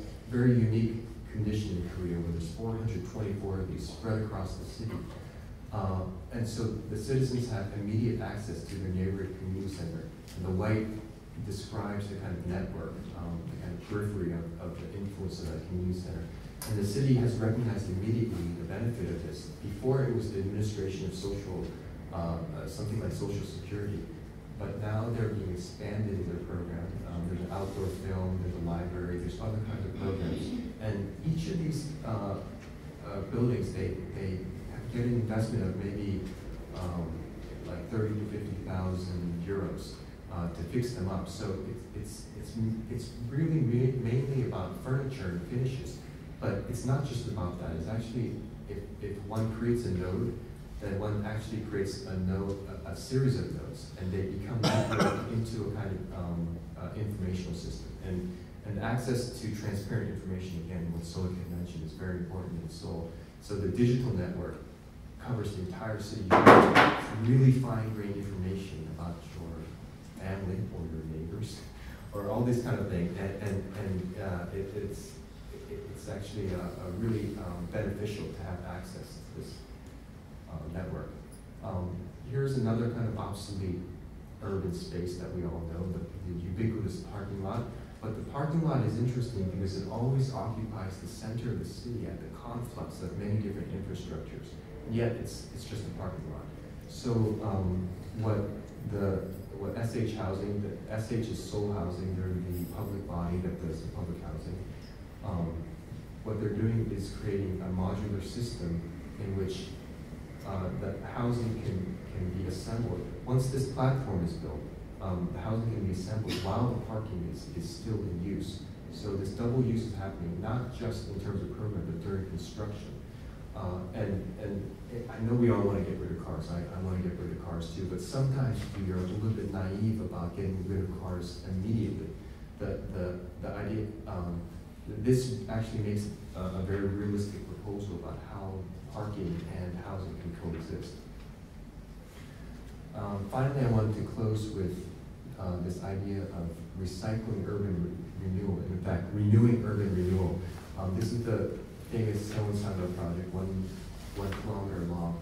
And you can also see it's not just this building, but do you see this grid that was carved into the city, which had an entirely other organization system? Uh, you see this here in 1967 when it was built. And of course, you know, when we uh, looked at it decades later, we think it's horrendous, we think it's um, a megastructure. But it has uh, uh, become, over time, kind of encrusted, almost like a pier gets, gets encrusted with, with, um, with ecosystems underneath it. And so this building is being revitalized uh, in such a way that the older fabric and the urban renewal fabric can coexist at the same time. So why not, instead of reverting back to a kind of nostalgic version of the city, why not have a city that can be a palimpsest, a, a kind of accretion of history? Uh, what was interesting about the old city maps, they're actually drawn calligraphically with brushes. Uh, it's a beautiful way of drawing the city because it's not about the accuracy of the drawing, it's, it's actually about relationships. Uh, and so they're, they're very fine grained uh, relationships that still exist within this kind of calligraphic um, uh, organization of the city, overlaid uh, over this urban renewal. And so what's, what this architect um, is doing and, and now it's going to be built is that uh, that, that, that by putting that kind of exos, exoskeleton around the building, this fine-grained exoskeleton, what it does, it links the small scale and the large scale together. Um, so the conclusion of all of this is that recycling, um, it's, it's a kind of uh, uh, a term that's very hard to grapple with, I think. It's, it's, uh, it's actually a very contemporary term. Um, the Americans have a version called uh, uh, adaptive reuse, which is so sad. Whenever I hear adaptive reuse, just depression fills my mind because it's basically this compromised fit of program to building. You know, it's adapting building. Usually you rip out the inside and just put a new program in. But instead of thinking of buildings as materials, why not think of the city and the building as space? So in fact, recycling the city is actually a spatial concern, not a material concern. And that's what these kind of projects are doing. Thank you.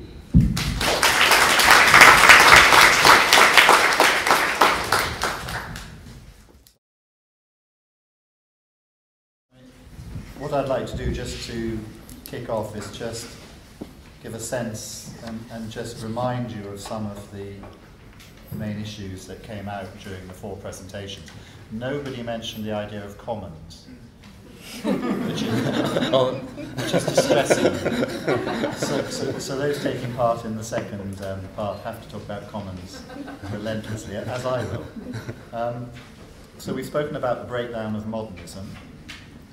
I think we've spoken, I think, very interestingly about the nature and responsibility of biennales in relation to the city, the idea of the embedded biennale, and it might be worth, with so many of you having come from Venice, just to really try to capture that.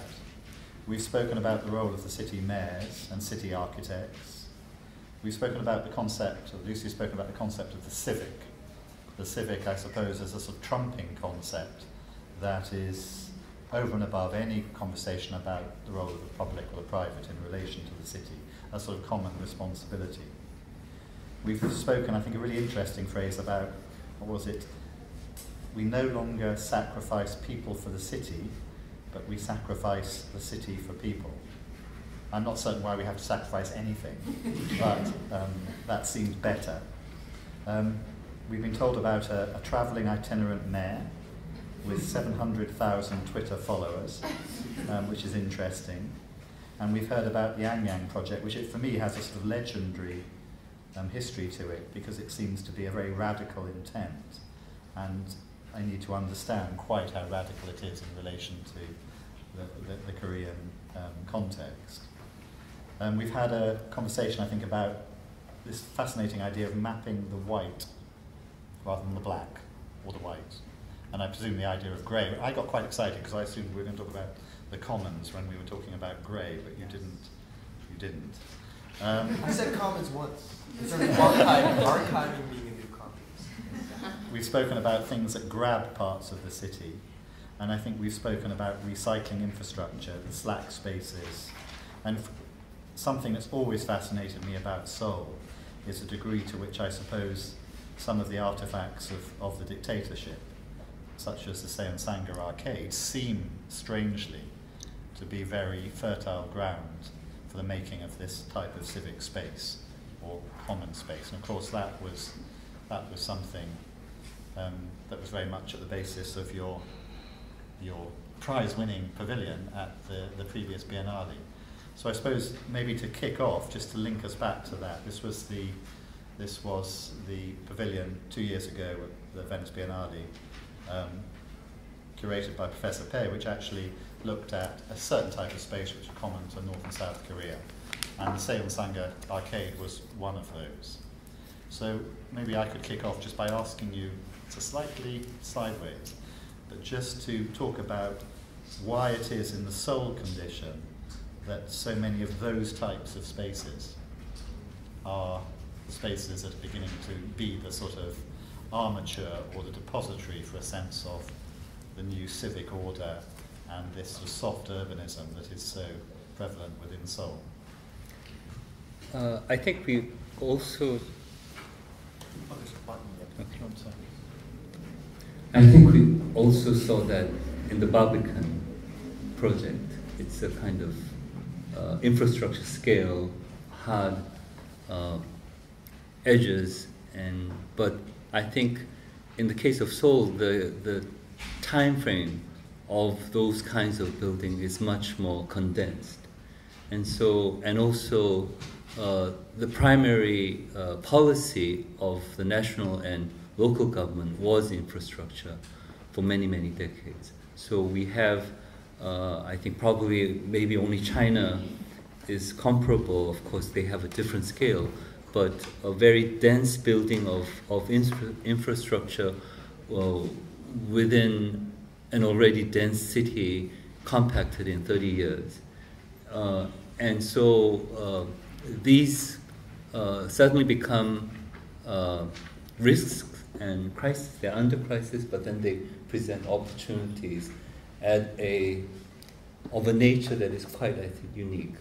I don't, I'm, I'm not sure whether any other local government has faced this issue of, of intervening into large scale uh, uh, infrastructure to transform into a new kind of uh, programmatic configuration.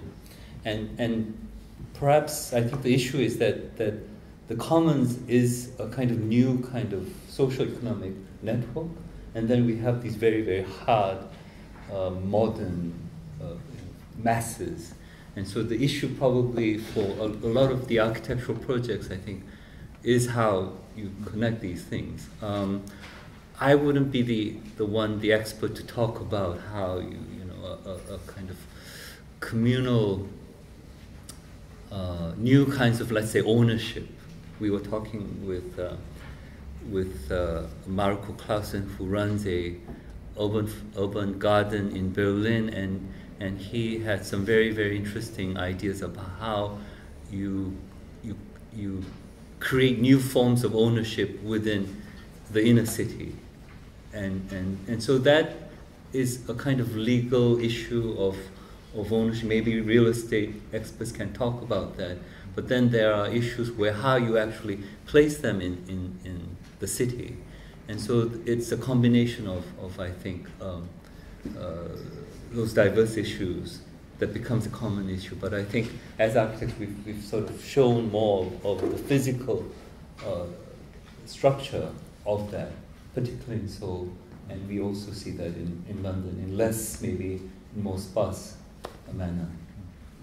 I mean, the, the, the Sewoon arcade, I mean, as I understand it, that there was a wholesale scheme to redevelop it. And one of the first things that happened, presumably when the new mayor came in, was that was stopped and it was made available for this adapt, um, not adaptive, um, recycling in the way in which you describe it, which was a huge, as I understand it, a huge gesture a huge change. Yes, and so the history of that, the immediate history of the Sewoon Sangga area that is, of course, connected to the restoration of the stream and the whole development of that area. And so uh, the, the previous previous mayor who was elected president on the basis of the restoration project uh, uh ev- evacuated a certain sector of the manufacturing industry that was based around the stream and the Sewoon Sangga. And so there was an industrial cluster that was uh, doing small uh, light light industry manufacture, uh, you know, more primitive forms of electronic uh, assembly and, and that need. But they, the the re- restoration took out a certain uh, portion of that sector of that industry, and then the whole industry fell down. It's it's under collapse, and then the relocated uh, industry also falls down. And so maybe it was a good project for certain developers, but for the economy and, and in the long run, it, it, didn't. And so I think one of the tasks uh, in the refurbishment regeneration of Sewoon Sangga is, is how you can reconfigure the manufacturing industry, how you can insert a certain, and I think that's where the, the at least the techniques of the new commons come in. Uh, new forms of networking, of mobility, and how you sort of reconnect and, and evolve this, this uh, manufacturing district. Uh, it can't stay uh, uh, stagnant, it, it obviously has to evolve, and so the new technologies of communication uh, and also, I think, hardware is, is under the works. It's not a new issue, but so, for example, Biennale will, will try and touch on that, mm. see how a certain sector may, may you know, experimentally be changed, and, and I think that's the kind of projects that we've been talking about. May I just pick up on sacrifice? Actually, she said change, change, no, I wrote change the city to. I, I um, I was whether I could ask Lucy whether I mean, this, as I understand it, the sense that the needs of the city as a sort of large metabolism have dominated over the needs of, of its citizens. And, and you can see that in Seoul in some sense. Um, I suppose in terms of, of your idea of the civic, Lucy, is there a need, is there a sacrifice in relation to the efficiency and needs of the city in order to establish civic space? Um, I think that the difference in London, a big, big difference, is our recent history on governance. And, you know, we didn't, we were the only city, I think, without a planning authority for many years. Margaret Thatcher abolished our city government um, in 1986, and we had our new city government back in the year 1999, and our mayor and the elected mayor was actually an innovation um, in terms of setting that city government. So the negotiation that happens in London between the boroughs, where there isn't, wasn't a policy for anything that was cross-borough, has really formed what's happened in the city um, over the last decades. And what's happened with the new city government has been, although there have been some bold um, ideas about the civic, actually it has been put in the lap of the private sector to demonstrate that organically. And I think that the new form of practice that, you know, in terms of being research led and being able to feed an evidence base around who and how you can encourage um, leadership within the common or the civic kind of agenda has been really uh, a pragmatic response to um, the fact that the sacrifice, I mean, London has sacrificed a lot because of the financial crisis, not in terms of loss actually of jobs or but actually because of investment, because of the world's money coming here.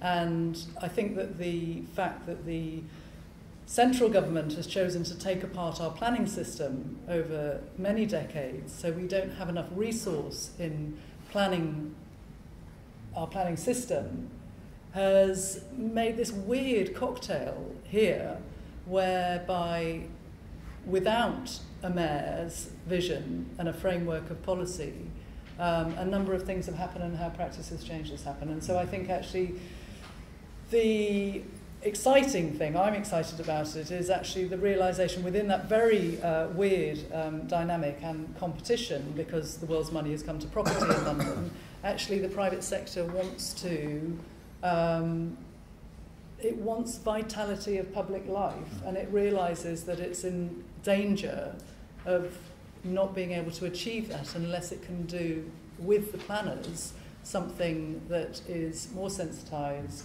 is more temporal, is more um, inclusive, mm-hmm. um, can be appropriated by different people. Um, ultimately, the big London question, maybe Seoul as well, is affordability because we have a you know real problem in terms of workspace and, and living space here. Um, it's inevitable, but it's that uh, the pragmatism of the absence, in a way, I suppose, is the London condition, which feels very, very different to listening to you all in terms of the different, yes, organic issues of leadership and governance and what has been afforded to you. Um, here it's very different. I don't know if that's good enough answer. Okay. Just one. Uh, recently, one of the the issues that again the city architect has raised is that he wants to pursue a, a planning and design division within the city. So a city architect that does just advise or, or uh, but a, an actual design and planning uh, institution within the city. And then and there was there's a there will be an ongoing discussion. It will cause an uproar in many sectors. But one of the things that we think will happen is that in fact the private sector will will embrace it, will enjoy because that uh, with the different kind of economic environment that that the private sector needs a certain you know, guidance they, that they need to know where certain policy directions are going, particularly even in specific spatial and physical uh, uh, uh direction, so that they can, the private sector can sort of uh, advance their investment with confidence. And so, so I think the city government thinks that the private sector will support this kind Sure. of new, because it creates a very, very stable sort of planning directive in which the private uh, economy can move. Thank you. I mean, I'd just like to change direction just slightly to what Soik was saying about Anyang. Um, I suppose in, the- in the next session you'll see um, the work of Public Works and Architecture Zero Zero, certain similar techniques in terms of, I suppose, ways of, of communicating or ways of engaging with the city that are somewhere between architectural practice and, and art practice uh, and, and forms of, sort of media. Um, I suppose in, in, in London it's been going a long time. So I suppose there are areas of London that um, have been consulted out in a sense.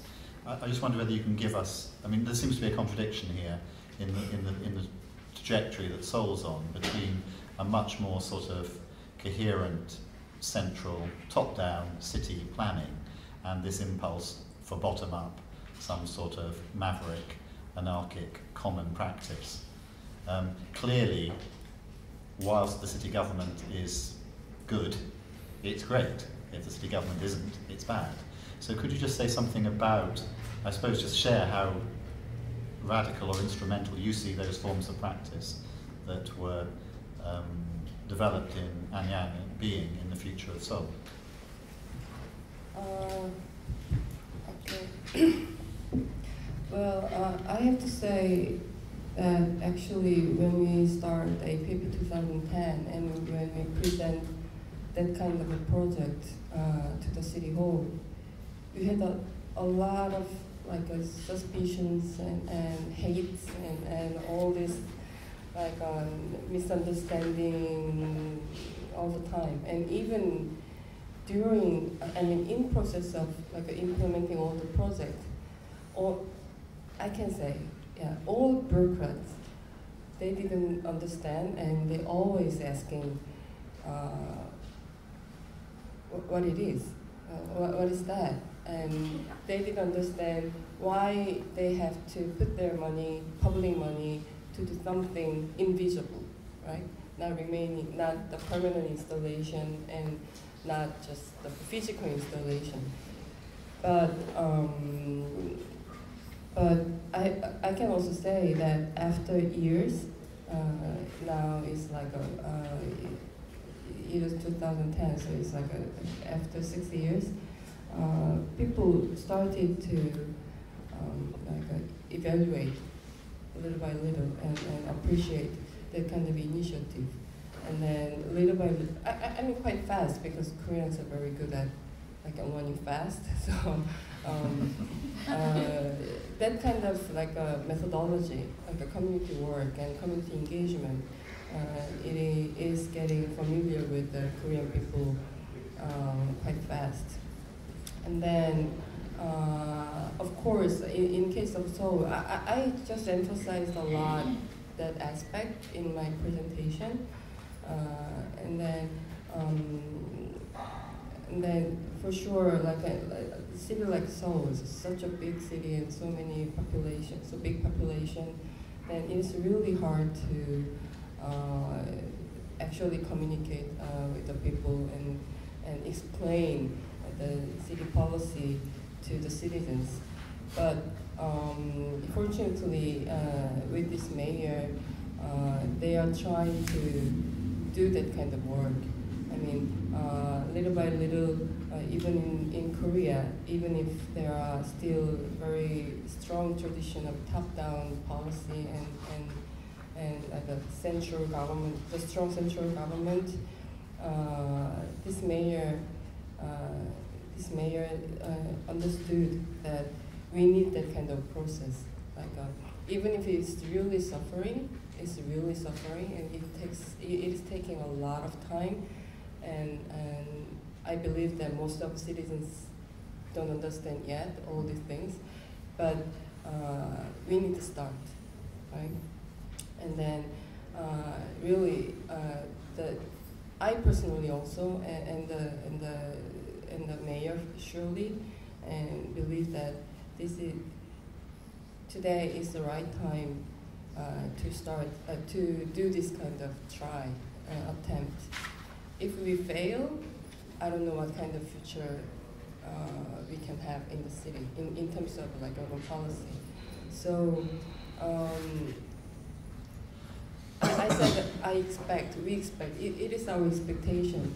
We don't know what kind of result we can achieve at the end, but uh, I believe that um, like a learning from uh, our previous experience, my previous experience, this kind of like a suffering start and, and a very like um, energy consuming start is really necessary, especially at this moment for Seoul. And then if we can uh, make the structure of the Seoul Biennale in this way somehow, that could be, you know, nobody knows, maybe we could have a second Biennale or third Biennale or forever, or maybe we can we could have like a second Biennale, like a, quite similar to Venice Biennale. Uh, we, we don't know, but Mm. but um, we feel that we need that kind of initiative at this moment. So, I mean, what I learned from Anyang is is it takes time and it is suffering, but we have to start. That, that's it. So, I mean, it's quite mission missionary, but but but um, but that is Yeah. my understanding, my learning. T.S. Beckney, we will come back to white space, but, Okay. but just to end this session, I think we should just, just have a very quick, just return to the idea of the Biennale and, and your proposal in relation to the way the Biennale operates within the city over time. I suppose as distinct from the, the, the Venice Biennale. And I suppose there will be a chance for questions at the end, but I suppose just if we, um, I would invite any comments in relation to the idea of the Biennale. I, I suppose you, there is an implicit criticism of the, the theatrical Biennale, which is Venice, in the way you're operating on it. And um, there are people here involved in the Biennale, not least Vicky, who is sitting in the back row, who's been the commissioner of the British Pavilion for a number of years. And I just suppose whether you have any comments about this structure of the Biennale as opposed to Venice and what you see coming out of, of this mechanism. Yes, sir. I think it's also worth, it's also worth mentioning that this is one of the first events of London Festival of Architecture. Yeah. Uh, which is in a way a kind of biennale. It's, um, you know, it's, a, it's, it's where the profession gets together to think about how it, it's going to speak to the public. And I think that, that has, for me, this is a, a question that, um, that's at the heart of all, of all of these kind of public events, which is um, what, role, what role does the public have here? And um, is, this, is this an educational kind of event, or is this a, an event where you uh, use it as a platform for research and for, for testing ideas, or is it is it a sort of polemic? Um, is it is it a campaign to get across a particular idea to, to the public? And I think I think it's really the, the most vital thing in a way is to keep the audience um, in mind here and and, and think about what kind of relationship you want to have, um, because it because you know, all of these events are an opportunity to make a bridge between um, practitioners and, and, uh, and, and that audience. Um, and to, to my mind, the, the most successful ones are where you, you don't talk down to that public, that audience, you don't preach or uh, patronise, but you really speak to that audience as, as if they are connoisseurs and um, you know, as if, as if they're part of a, a, discussion. um, not, not just sort of re- receiving ideas in a kind of passive way. So I think that um, uh, in Venice, just I, I took part in an event um, just last weekend about uh, the, the Biennale as a space for, uh, for learning. And um, somebody asked the question, well, what on earth would the public make of this exhibition, you know, full of complicated ideas? And the question that came to my mind was, well, what on earth would the public make of Venice itself, which in a way is a sort of, you know, the city itself is a kind of exhibition. Um, and I think that the answer is that, you know, people make all sorts of things from, from these events and from the city itself. People take different things and they appreciate on different levels. And so, um, yeah, I mean, I think that whether or not your Bien- the Biennale is, a, is a, a formal exhibition in a dedicated exhibition space or an exhibition that's the city itself, um, I think the key thing is to really think about that relationship um, with, with the public, with the audience. We'll just take one comment from the floor and then we'll I just Excellent said, session. uh, um, um, my name is Anna Harding. I've twice been as a consultant advisor to the Busan Biennale, um, and I've been incredibly impressed at the local engagement of that Biennale, where every single school child in the city, it's, Korea's second biggest biggest city, every school child visits and engages with the Biennale. So my hope for your Biennale is a similar level of engagement by the city. I think that's uh, hugely exciting and judging by Busan, that's completely unique in the world of biennales. So I think, you know, I was really, really, really impressed by that. I think that's a good moment to stop. Um, thank you, Lucy, Lynn, Zoe, John.